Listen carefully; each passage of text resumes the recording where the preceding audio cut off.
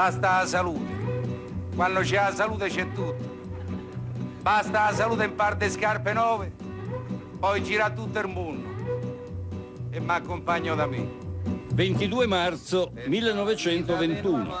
Nasce a Castro dei Volci, in provincia di Frosinone, uno dei protagonisti del cinema italiano, Nino Manfredi. Il piccolo Nino, non proprio incoraggiato da suo padre, un agente di pubblica sicurezza, comincia a familiarizzare col teatro, prendendo parte alle recite parrocchiali. Dopo la parentesi della guerra, Nonostante la promessa fatta ai genitori di laurearsi in giurisprudenza, nel 1944 Manfredi si iscrive ai corsi dell'Accademia d'Arte Drammatica. La bravura, la simpatia e l'originalità dell'attore si consolidano fra il 58 e il 62 con un trapezio per l'Isistrata di Garinei e Giovannini, a fianco di Delia Scala e Paolo Panelli. Questo cast verrà riproposto nel 60 per Canzonissima. La televisione andrà anche a fargli onore nel suo paese natale. Beh, che ti devo dire?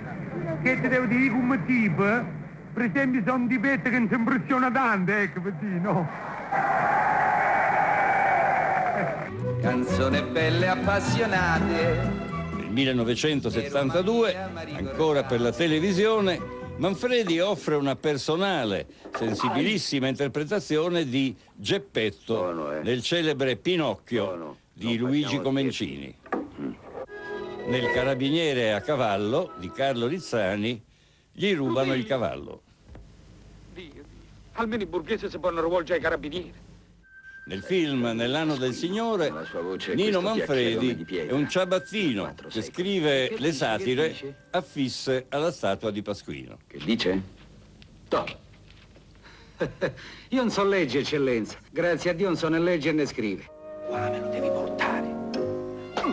98 film, 45 lavori teatrali, 180 trasmissioni televisive. Nino Manfredi, grande autore e attore, beniamino del pubblico, lo ricorderemo anche per le sue bellissime canzoni. Fiore dell'Illa che mi riporti verso il primo amore che sospirava le canzoni e mi rintontoniva de bugie